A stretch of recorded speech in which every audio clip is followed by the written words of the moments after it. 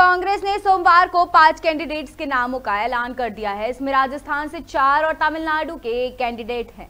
कोटा से प्रहलाद गुंजल अजमेर से रामचंद्र चौधरी, वही राजसमंद से सुदर्शन सिंह रावत, भीलवाड़ा से दामोदर गुर्जर को टिकट दिया गया है। वही गुंजल राजस्थान की भाजपा नेत्री और पूर्व मुख्यमंत्री वसुंधरा राजे के करीबी रहे हैं। वे दो बार कोटा, उत्तर से एमएलए रहे, लेकिन पिछला विधानसभा चुनाव हार गए थे। उनके भाजपा छोड़ कांग्रेस में आने से हड़ौती क्षेत्र में कांग्रेस को फ़ायदा होने की उम्मीद है।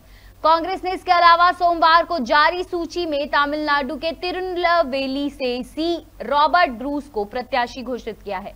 अब तक कांग्रेस देश भर में 190 उम्मीदवारों का ऐलान कर चुकी है।